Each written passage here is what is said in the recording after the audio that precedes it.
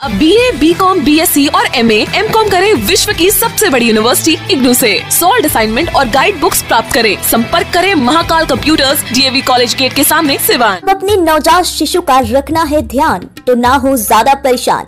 आज ही पहुँचे S S maternity and child care Delhi के सफदरगंज अस्पताल में अनुभव प्राप्त डॉक्टर सदर आलम ऐसी मिले।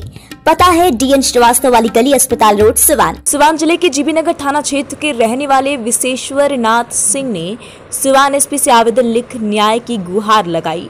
फिर भी नहीं हुआ कोई सुनवाई।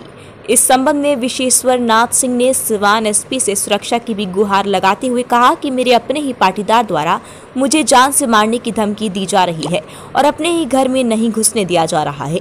दरअसल पूरा मामला ज़मीन को लेकर हुए आपसी विवाद का है। जीबी नगर थाना क्षेत्र के विशेश्वरा नाथ ने सिवान एसपी को एक आवेदन देते हुए कहा कि मेरे चाचा स्वर्गीय राम बालक सिंह के लड़के चंद्रकेतु नारायण सिंह एवं उनके पुत्र कौशल कुमार सिंह तथा दिनेश कुमार सिंह के पुत्र अभिनेश कुमार द्वारा मुझे मेरे पैतृक आवास, जो जीबी नगर थाना क्षेत्र के बलियापट्टी में है, उससे घुसने नहीं दिया जा रहा है तथा मुझे जान से मारने की धमकी दी जा रही है।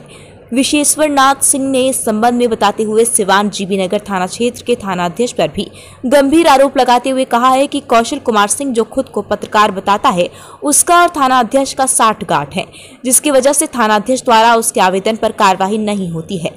अब इस मामले में विशेश्वर नाथ सिंह, सिवान के तेज तरार पुलिस कप्तान शैलेश कुमार सिन्हा से न्याय की गुहार लगाते हुए संबंध में सुरक्षा की मांग की है। विशेश्वर नाथ सिंह का परिवार वर्तमान में दिल्ली रहता है और फ़िलहाल वो सिवान स्थित अपने आवास पर आए हुए हैं। उन्होंने कहा कि वो जब भी अपने गाँव बलिया पट्टी स्थित अपने आवास पर जाना चाहते हैं तो उनको जान से मारने की धमकी दी जा रही है। किसी तरह का कोई मदद ना मिलते देख विशेश्वर नाथ सिंह ने अब सिवान एसपी और सिवान की मीडिया से गुहार लगाई है। अब देखना होगा कि सिवान एसपी इस मामले को संज्ञान में लेते हुए कब तक जाँच कर कार्यवाही के आदेश देते हैं।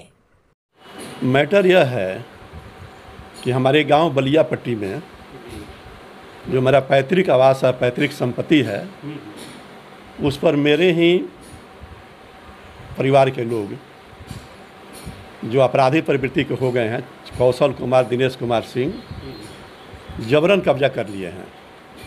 और इसकी शिकायत हमने 2019 से शुरू किया जीबी नगर थाना को देने के लिए, मुख्यमंत्री को दिया, एसपी साहब को दिया डीएसपी साहब को दिया, डीआईजी को दिया, हर जगह से आवेदन आता है थाना पर।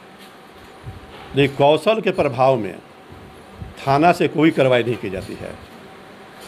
इधर हम दो दिन पहले भी थाना प्रभारी से मिले थे, अखिलेश बाबू से। उन्होंने कहा कि कौशल कहता है कि मेरा है। इसलिए आपको जाने का अधिकार वहाँ नहीं है। जब मैंने यह कहा कि मेरा संपत्ति उसका कैसे हो जाएगा? वो कहे कि वो सब कमा कर दिया और आप लोग अपने नाम से संपत्ति करा लिए। जब मैंने बताया कि उसका जन्म ही निन्यानवे का है हम लोग बंटवारा छियानवे का है तो कैसे उसका संपत्ति हो गया? तो उन्होंने कहा कि इसकी हम बात नहीं जानते हैं। थाना प्रभारी ने। थाना प्रभारी ने कहा। पुलिस के और वरीय अधिकारी से मुलाकात की है हाँ हमने एसपी से मिला अनुमंडल पुलिस अधिकारी सीमान से कल मिले इनसे भी शिकायत किया। इन्होंने भी उनसे पूछा तो इनसे भी उन्होंने यही कहा। वो कहता है कि मेरा है। पेपर नहीं देता है। इन्होंने कहा कि पेपर देख लो। पेपर से कोई झगड़ा नहीं है। हम लोग का बहुत पहले से तीस साल पहले बंटवारा हो चुका है। उसके बाबा के टाइम में ही। लेकिन वह चूँकि शराब व्यवसाय से जुड़ा हुआ है थाना पर जाकर पैसा देता है इसलिए थाना उसके पक्ष में रहती है।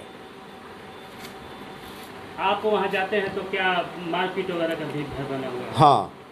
जाने पर गाँव के एक सुदामा सिंह हैं, बहुत प्रयास किए कि पंचायती हो जाए। क्या कमी है, कहो, दे, दिलवा देंगे हम, क्योंकि हम कहे थे कि कोई कम होगा तो हम अपने हिस्सा में से, अपने भाई लोगों से नहीं, अपने हिस्सा में से पाँच कट्ठा ज़्यादा दे देंगे। तो सुदामा सिंह गए तो उसका चाचा है दिनेश कुमार। वो कहा कि पहले मर्डर होगा आएँगे तो उसके बाद कोई बात होगी। तो सुदामा सिंह ने जब कहा कि ऐसा बात नहीं कहना चाहिए कहा कि उन्हीं का नहीं, जो इस बीच में बोलेगा उसका ही मर्डर होगा। तो हम लोग भय से गाँव नहीं जाते हैं, क्योंकि दो जुलाई को मेरा भतीजा जो है वकील है, नवीन कुमार।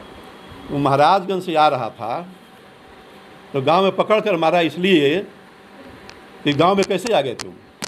क्या वही कौशल ने मारपीट किया?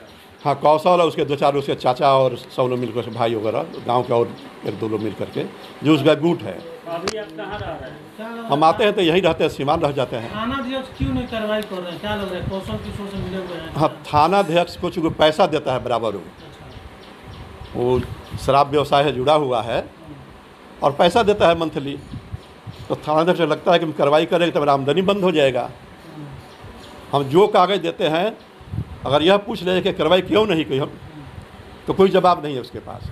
हमने कहा कि जब हम आवेदन दिए कि कागज़ पर लिख दो हमारा संपत्ति नहीं है उसका है हम मान जाएँगे। तो कार्रवाई कोई नहीं करता है। कार्रवाई भी थाना अध्यक्ष नहीं। कुछ नहीं तो ही हैं, मौखिक रूप से बोलते मौखिक बोल देता है बस कुछ नहीं सब कागज़ में डंप पड़ा हुआ है। अब आप मीडिया के सामने आए हुए हैं क्या चाहते हैं मीडिया से क्या मदद चाहते हैं? हम मीडिया से यह चाहते हैं कि हमारी बात प्रशासन तक पहुँचे। ताकि हमको न्याय मिले।